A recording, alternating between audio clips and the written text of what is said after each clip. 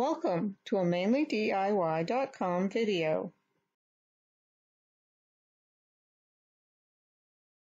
Hi, today I'm going to make a little gnome and I'm going to start with some quilting batting that's wool and uh, the fibers kind of run in this direction so I'm going to cut a strip that's let's see how big that is. Yeah it's about three inches. I'm not being real real precise with it and I'm just going to cut the whole length of it.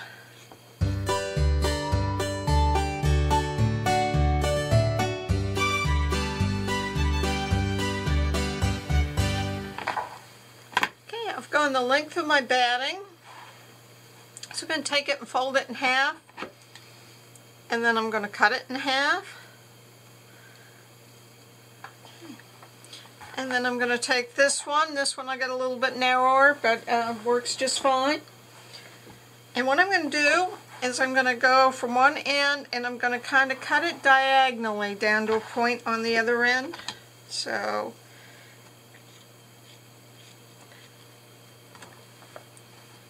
okay, so I've got uh, one of these uh, rough very long triangles and I'm going to start with that. I'm going to start the wide end and I'm going to kind of roll it up.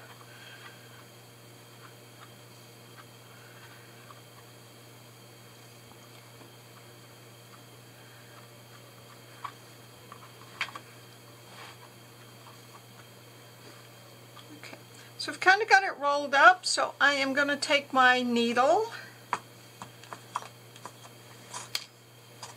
It's my felting needle, very sharp, so you want to be very careful with these. Um, they have barbs down here. Uh, let's see if I can get that in focus. It has barbs on that. Hopefully you can see that. Um, but they're very sharp, so I like keeping my hand up here on, on this L shaped. Um, so where where my um, batting ended, I'm going to poke it right up and down. And you really do need to be careful of your needle and poke it straight up and down. It's also good to have a surface to work on. So I have uh, one of these boards by Clover for needle felting. And you can also you just use a piece of like uh, foam cushion um, that I have here. But I am going to use uh, the brush surface just because I have it. Either one works fine though. And I am going to just kind of poke the ends down uh, just to kind of hold it together. And then I'm going to turn it up on end and I'm going to kind of grab that end. And what I'm going for here is an egg shape.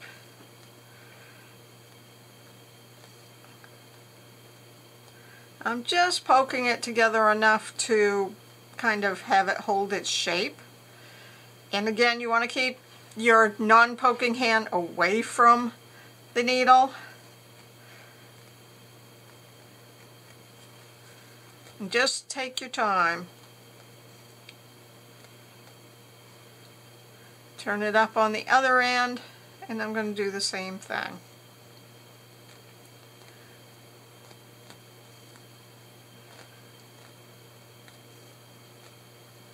And I should be poking down vertically because I don't want to break my needle. I have broken a couple uh, when I'm starting out. So, um, so here I have a, kind of a rough egg shape and that is going to be the head and the, the whole works for my little gnome gentleman.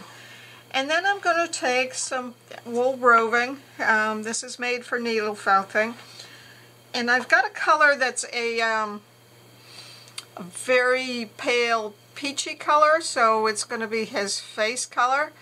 And I've cut a piece off that is roughly three inches long, and I've kind of stretched it out and flattened it out. So, um, and I actually don't need that whole whole piece, so I am going to take it and then divide it down this way. Okay, I'm going to set one piece of it aside, and then then I'm going to take this piece, I'm going to uh, divide it in half again, and then I'm going to take this one and I'm going to cut it in half. Okay.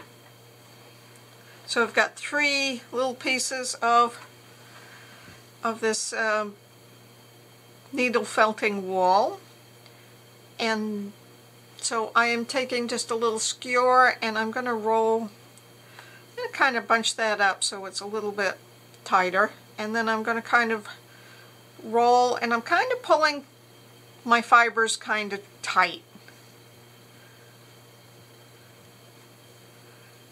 And what I am making is the nose for my gnome. So I'm going to go ahead and pull my skewer out and then I am going to just uh, where that part ended is actually going to be my backside, but I'm going to poke it a couple of times just to kind of help it hold down. There we go. So I'm going to take my little face and I'm going to say my nose is going right there. So um, the top of it, I'm going to take this little tuft and kind of round that over to the back side and uh, kind of poke that in so we won't have as much uh, fluff hanging out there.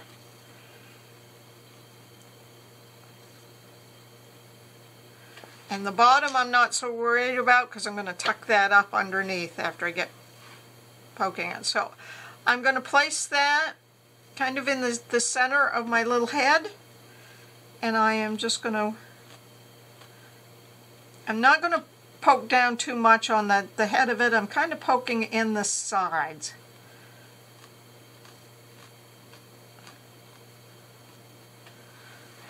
So I did that side, then I'm going to turn him, and I'm going to poke this side. So let's zoom in a little bit. Okay, so I am just kind of poking along the side to just kind of anchor him against the rest of his face. And I'm going to do some more poking a little bit later. And then I'm going to take this end, and this is going to be the nostril end of his nose. I'm just going to kind of poke in this excess of the peach without getting too much of the white. So I'm going to kind of uh, poke up a nostril. And you do want to be careful to go vertical with your needle, and I wasn't doing that as much as I should. Um, poke that up under the nostril, see, and you got to watch where your fingers are so you don't poke. I didn't actually hit myself, but I came close.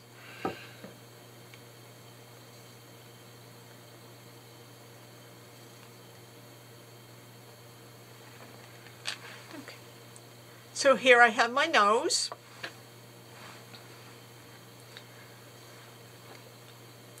So I'm going to take one of those other two peach uh, items I had and I'm going to move my kitty away. So I'm going to take one of my other uh, two little pieces of peach that I had and I'm going to roll them on the skewer um, and then I'm going to take them and kind of fold them on each other. So I'm trying to make a little ball here. These are going to be cheeks.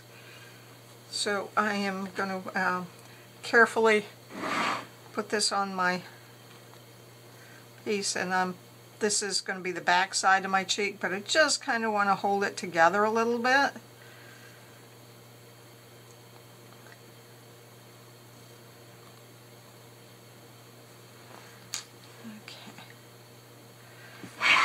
So then I'm going to take that cheek and I'm going to place it right there on my face.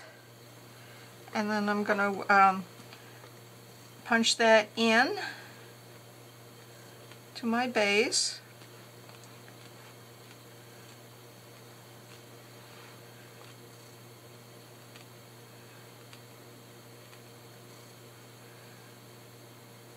And merge it right up against the, the nose.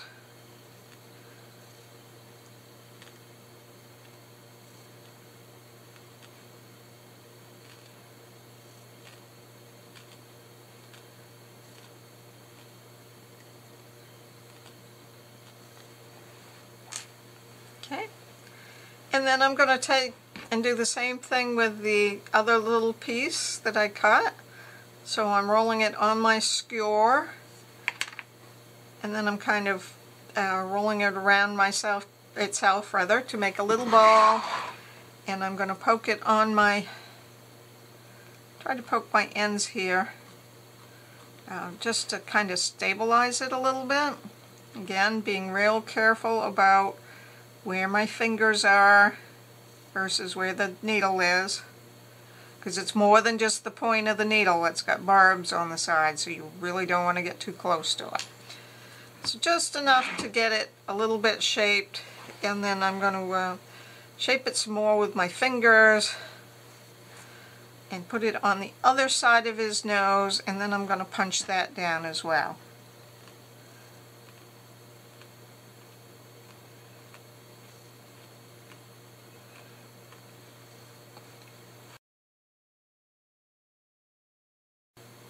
Okay, so um, there's my nose and my two cheeks. And then I'm going to take the the other half that I had fanned out kind of thin and I'm going to lay that right over his whole face.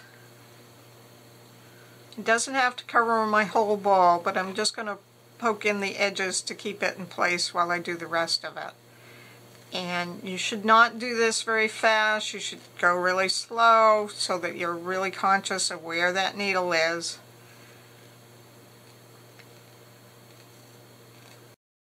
So now I've got my uh, peach tacked on and I'm going to um, kind of take my fingers and poke around to find out where that nose is and I'm I'm going between the nose and the cheek and what I'm really going for here is to define between the nose and the cheeks first. And again, be conscious of how deep you're poking so that you don't poke down through to get your finger. Okay. And then I'm going to um, take one cheek and kind of spread my material over around it and I'm going to go around that cheek.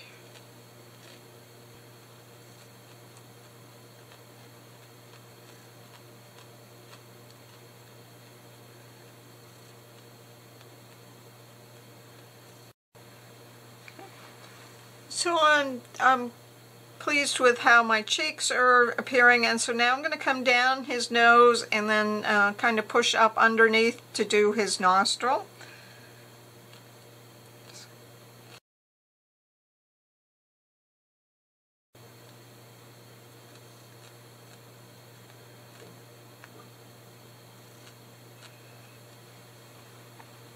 Okay, so I'm ha happy with that part of the shape.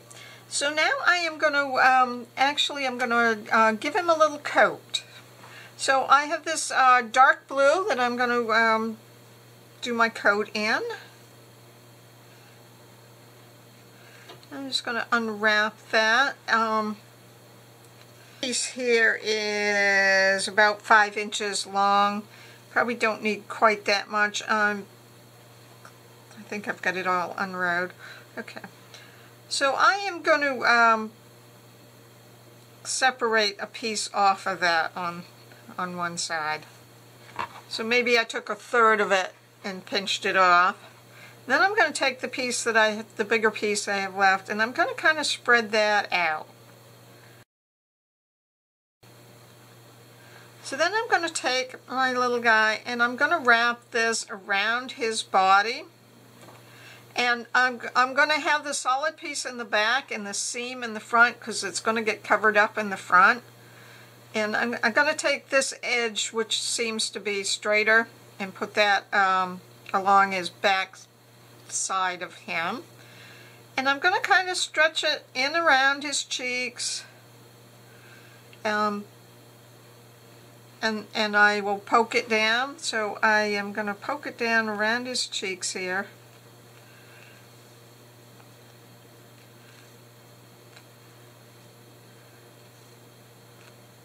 Bringing it up a little bit. Poke this under his nose.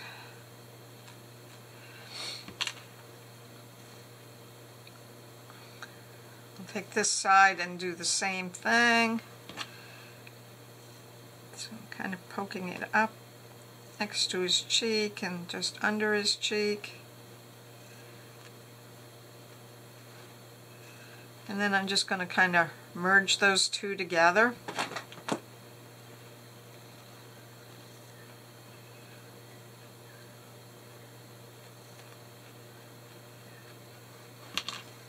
And then uh, I am going to um, just kind of cover my ball, stretch it out to color cover the lower half of him, and I'm just going to take my scissors and I'm going to trim off this excess. And then I'm going to take my needle and I'm going to uh, work this in to kind of close this up and I'm keeping the integrity of my egg shape. Okay, so I'm not too concerned about the way he looks there because that's going to be covered up too. But I am going to go around this rim and just do um, some little punches just to give it a little bit more stabilization all the way around. Okay, so I've got the bottom of him covered. Um, a little bit thin there, so I'm going to uh, just pull that together. Maybe I'll take a little bit of my excess and, and pull that apart and just work just a little bit more fuzz in there to kind of cover up that bare spot.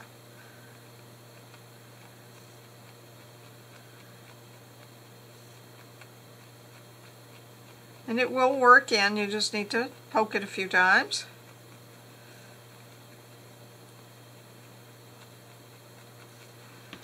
And then you can kind of smooth it out with your finger so that it doesn't look real obvious of what you did there.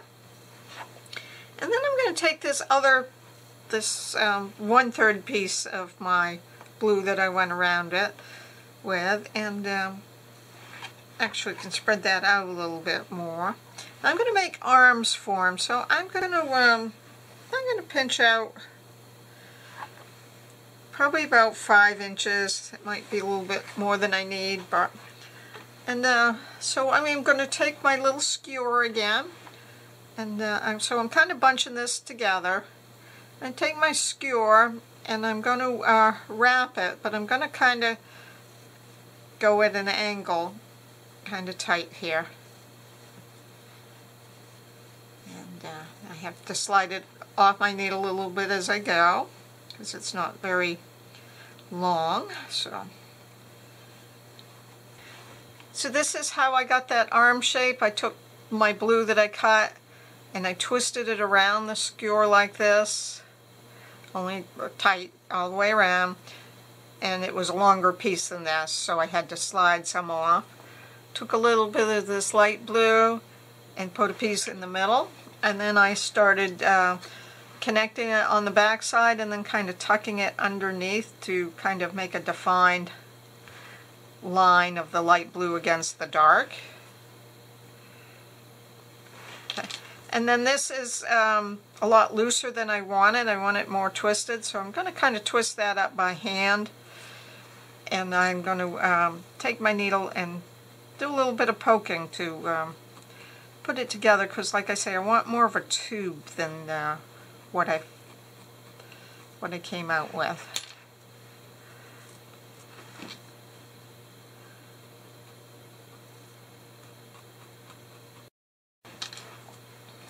Okay, and then I'm going to do the same thing on this side.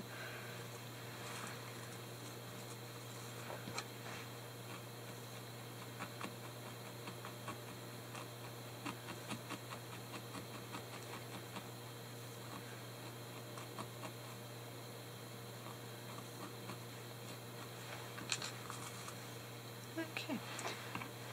So I've got that worm satisfied. And again, these are going to be the arms, and this is his hands coming together. So I'm going to pick um, probably right about there for his arms, and I am going to come up to the end, and I'm going to poke that end in first. And then I'm going to do the same thing on the other side. And you see I've got a lot of extra fluff on this edge, so I'm just going to clip that off.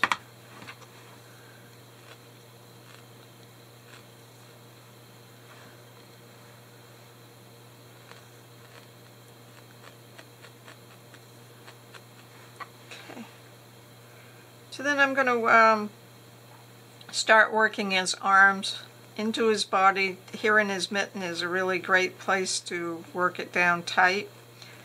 And then I am going to mark where the center of his hands, where his hands come together uh, by punching down there.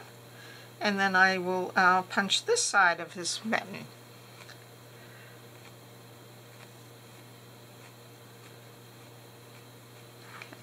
So then I'm going to take and I'm going to uh, just poke along the edge of his arm.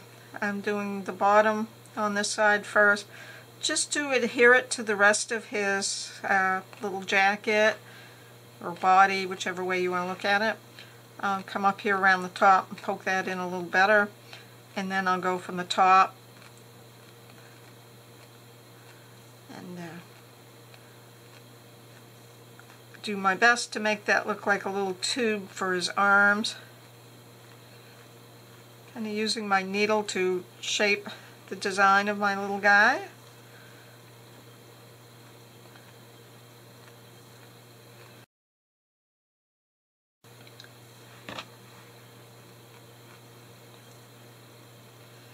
Okay. So um, I think I'm happy with how that looks. So next I am going to make him a pair of shoes. And you can use brown or black or, um, you know, a dark brown like this or black. And I have, um, I cut a piece, let's see how, about how long that, that was about five inches long of my roving. And then I cut it in half, uh, or I split it in half the short way. So I have this piece. Uh, this was left from another one. I've got my piece of bread. So I've got him twisted up a little bit.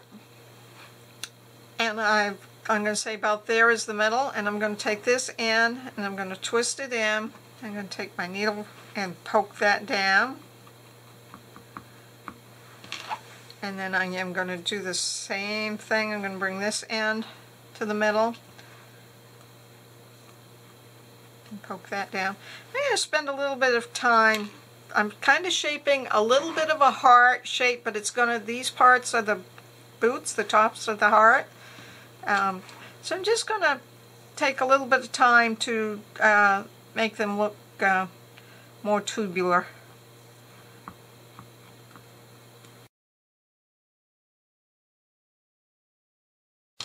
So I've kind of got a, a rough shaped heart here, and, and these are going to be his feet, so I'm going to kind of uh, pull that away from my piece there, and I'm going to uh, put this right on the bottom of him, and I want his little feet to stick out.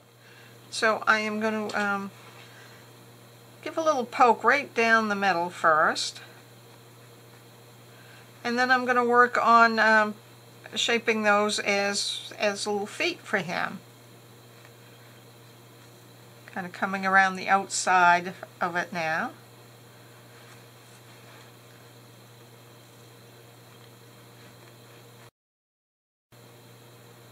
Tucking in the brown where I need to. And again, you should poke up and down. I know I wasn't doing that as well as I should have, but um, going up and down works a lot better. So this is going to be his bottom, so you're really um, almost making a flat space here. And then uh, you can flip him up and can put him on here and kind of um, shape his shoes a little bit. Just use your needle to um, get a little boot shape coming out for his little feet. And, uh, when I pull it off of this board, it kind of sticks, so then I have to go back and, and poke it a little bit. And um, the object is to get him so that he can stand up kind of on his own, so um, I think I did that there. So now we're going to move on to his eyes, and I'm going to use just a little bit of that brown again. Um, I'm going to cut off about an inch, maybe a, a, third of the material, about an inch, and then I'm going to um, split that in half. And I'm going to um, roll this into a little ball. It helps if you wet it. Um, I'm trying to make a tight little ball out of that. Okay, so I got a, a fairly tight little ball out of one, and I'm going to poke it on there for his eyeball.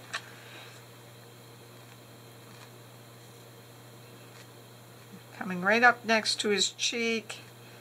And I'm really going to do a lot of poking because I don't want his eyeball quite as big as I have it, so you, um, you can resize it by poking it down a lot more.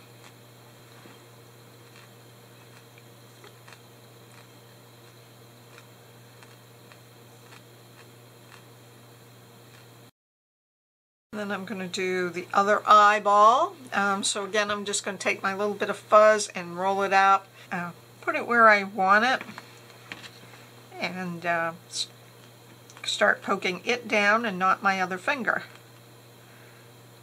I'm trying to get a round shape, um, but also make it a little bit smaller and really poke it into him. Okay. And then I'm going to take just a tiny, tiny bit of my white batting just a tiny little speck. I'm going to split that speck in two. And what I'm doing is I'm going to make the highlight for his eyeball. So um, just going to try to twist that up into a little knot. And again, get that into a little piece.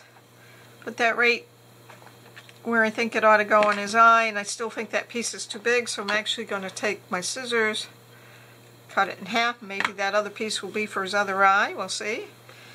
Um,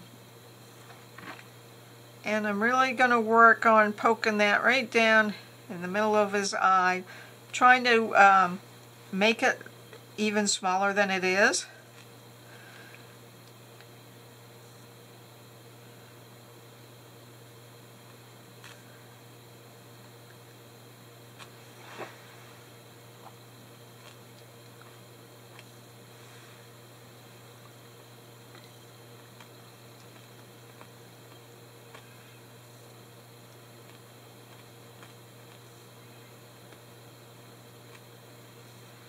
So you can really uh, make it quite small. And I'm going to take that other piece I had left and I'm going to do the same thing with it, that piece that I'd cut in half.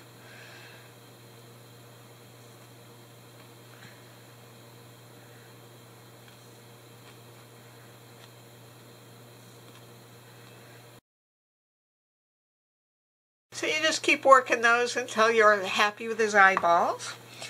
And then I'm going to take some, um, this is a little bit of um, curly uh, roving, so I'm going to uh, try to unknot a little piece of that to cut off. Um,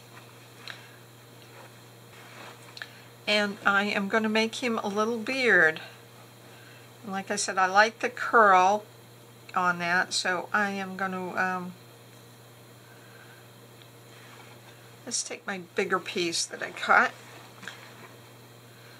and uh, work with that first. And uh, so we're just going to uh, work on getting a pleasing um, little set of whiskers here for our, our little guy.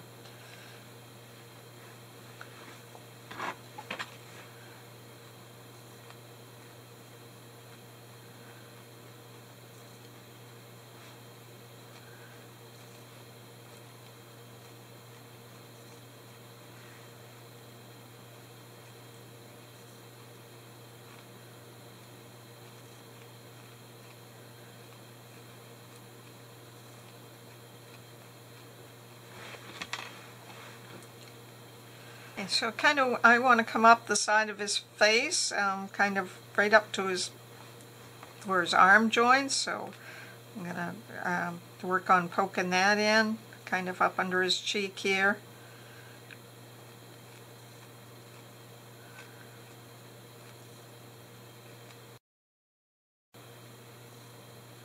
Kind of taking these really loose fibers here. This see they're really uh, loose here and kind of poking them in here uh, where I wanted to be and then I'll needle punch them down. You know, a few stray ones is good, but not too many.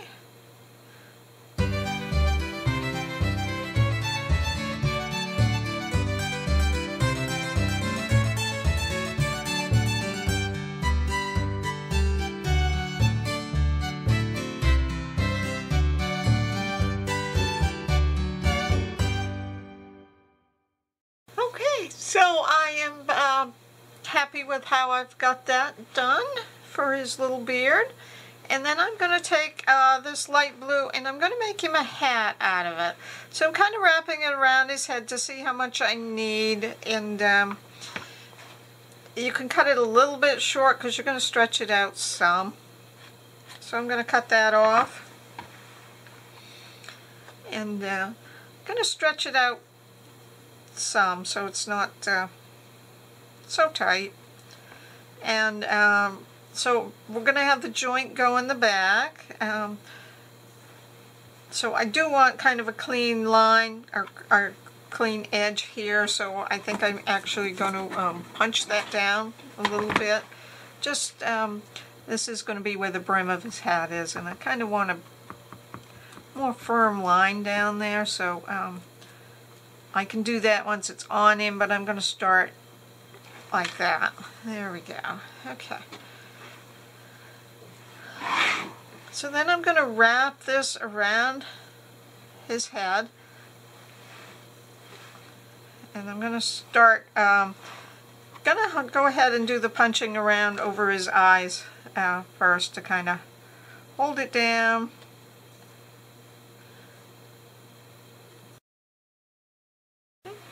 And I will wrap it around to the back side. And like I said, I can stretch it a little bit.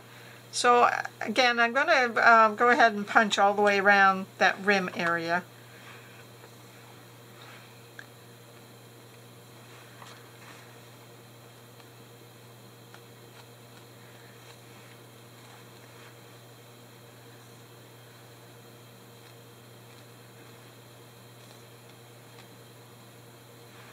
Okay, and then where it comes together in the back, I am just going to um, I'll over each other and um, go ahead and punch those together. Just kind of work those fibers right together.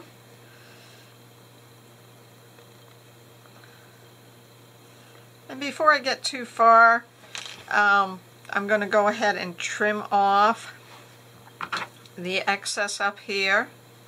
I want my hat to kind of have a point, but I'm just going to trim that piece off. And uh, and then I'm going to start working shaping this to a point. So I'm going to start from the back side first.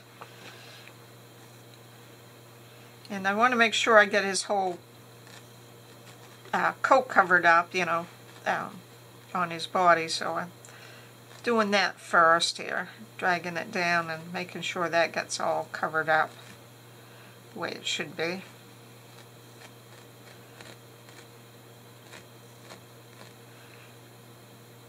And, you know, if I'm a little shy of fiber, I can take a little bit of my excess and just put it in there and work it right in.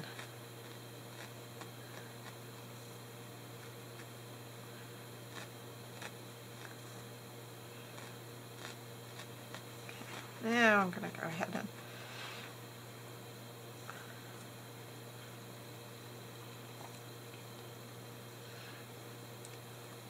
So like I said, I kind of wanted a point, so I pulled a piece off. And I'm just going to kind of felt this together, um, working it towards a point here. And pick him up, maybe uh, twist this together just a little bit and work from the front side a little bit.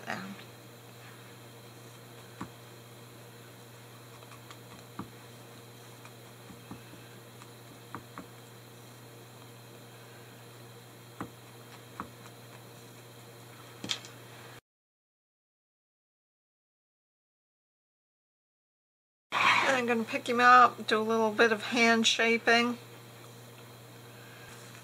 Okay, so a little bit happier with that point. And then I'm going to take him and I'm just going to pull it and I'm going to twist it and make a little curl in it. So I'm going to use my needle to um, help it hold its shape. So I kind of just decided on what shape I wanted.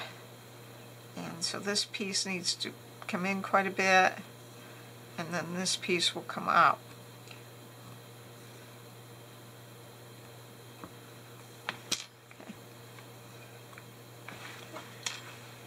So I've got his hat kind of a pleasing shape, so I'm going to let him sit there for just a few minutes to, to help hold that shape.